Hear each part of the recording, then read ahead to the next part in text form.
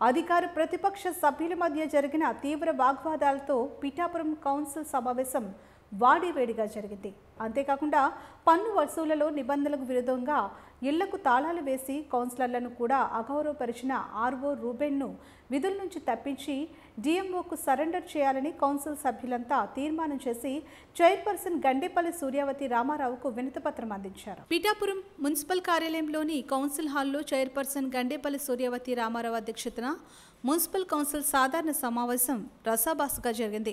Commissioner మాఘాపు Rammohan Rao సిబ్బంది vice చైర్పర్సన్లు కౌన్సిలర్లు పాల్గొన్నారు. ఎజెండాలోని అంశాలపై చర్చ జరుగుతుండగా మున్సిపల్ కూరగాయల మార్కెట్లో ఆక్రమణల తొలగింపు విషయంలో కౌన్సిల్కు తెలియపరచకపోవడం పైన కొత్త షాపుల నిర్మాణాన్ని అడ్డుకోవడానికి ప్రైవేట్ వ్యక్తులు నోటీసులు ఇవ్వడం పైన TDP floor leader Allavarapu Nagesh అధికారులను ప్రశ్నించారు. ఆక్రమణల తొలగింపు చర్యలు చేపట్టడానికి అధికారులు కౌన్సిల్ దృష్టికి తీసుకురావాల్సిన అవసరం లేదని వైసీపీ కోఆప్షన్ సభ్యులు గండేపల్లి బాబీ మాట్లాడడంతో కోఆప్షన్ సభ్యులు బాబీకి సమావేశంలో మాట్లాడాల్సిన పని లేదని ఫ్లోర్ లీడర్ నగేష్ చెప్పడంతో ఒక్కసారిగా వైసీపీ సభ్యులంతా లేచి నగేష్తో వాదనకు దిగారు.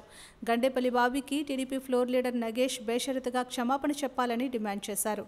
దీంతో బాబీ నగేష్ వైసీపీ టీడీపీ సభ్యుల మధ్య తీవ్ర స్థాయిలో మాటల యుద్ధం జరిగింది. కోఆప్షన్ సభ్యుల విధి విధానాలు తెలుసుకుని మాట్లాడాలని టీడీపీ ఫ్లోర్ లీడర్ అల్లవరపు నగేష్కు గండేపల్లి బాబీ సూచించారు. అలాగే పలు అంశాలపై సభ్యులు అధికారులను నిలదీశారు.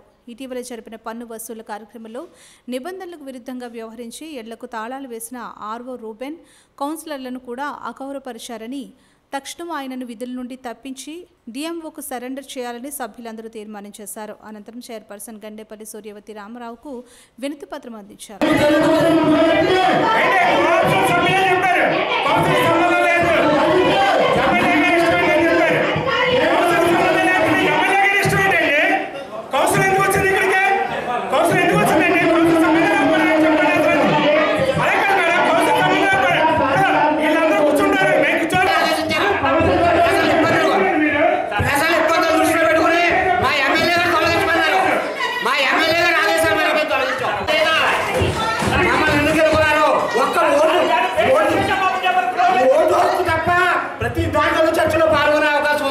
అవకాశం ఉంది ఆప్షన్ సభ్యులు ఎందుకు అనుకోవచ్చింది ఎందుకు అనుకున్నది ఈ కౌన్సిల్ మీరు దానికి